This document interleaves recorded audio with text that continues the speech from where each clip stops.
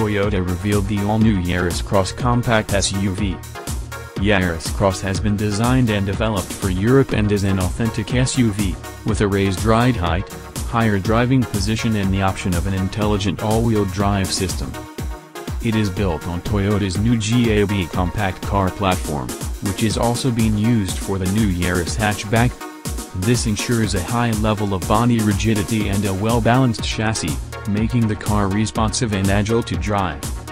Yaris Cross has the same 2,560mm wheelbase as the hatchback, but is 240mm longer overall, securing more interior space. The ground clearance is 30mm higher and the vehicle is taller and wider overall.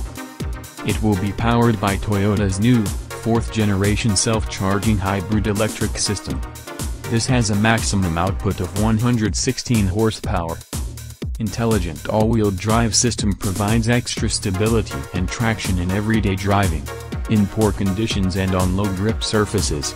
An electric system, it is more compact and weighs less than mechanical all-wheel drive units, helping the Yaris Cross Hybrid achieve better fuel consumption and CO2 emissions than any of its all-wheel drive B-SUV competitors.